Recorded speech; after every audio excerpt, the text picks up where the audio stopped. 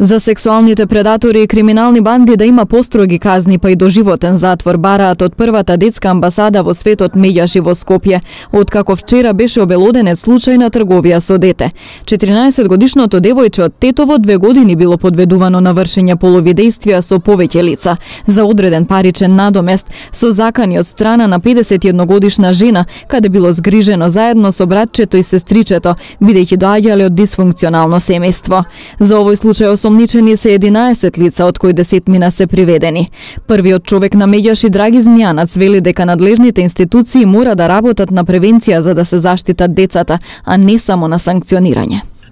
Првата детска амбасада во светот Меѓаши ги повикува институциите пред се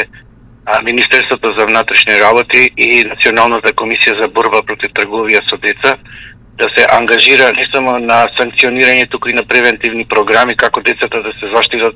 да бидат жртви на стингирот на организиран криминал на тргови и сексуална експлоатација на деца. Иако Македонија има подпишано конвенцијата за најлоши форми на злоупотреба на детскиот труд,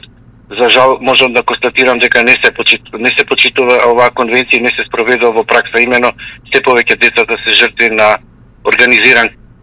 организирани групи каде децата се жртви на трговија, кога веќе се случува овој грозомерен настан, тогаш не ни преостанува ништо освен да ги повикаме судските органи а, да кога веќе досудуваат казни да ги досудуваат највисоки казни затвор дури а, и се залагаме за доживотна казна затвор а за педофилите ако го повторуваат делото а, хемиска кастрација и доживотна казна затвор. Змјана звели дека стручните служби и во училиштата и во центрите за социјална работа мора да имаат поголем увид во однесувањето на децата, особено во дисфункционалните семејства. Во континуитет сметаме дека стручните служби во училиштата и социјалните служби кои а, имаат задача да детектираат проблематично однесување на родители каде што децата може да бидат жртви во овој како што е овој случај и Сручните служби во училиштата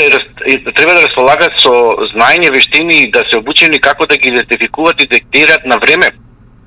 Несоодветните однесувања на децата и за да не се случи да бидат жртви на сексуална злоупотреба, а пак центрите социјална работа да имат увид во какви дисфункционални семејства живеат децата за да не бидат жртви на сексуална злоупотреба и да пријават до стручните служби до полицијата за несоодветно негрижа и однесување на, на родителите. Од Тетовскиот центар за социјална работа пак не откриваат никакви информации во интерес на заштита на детето.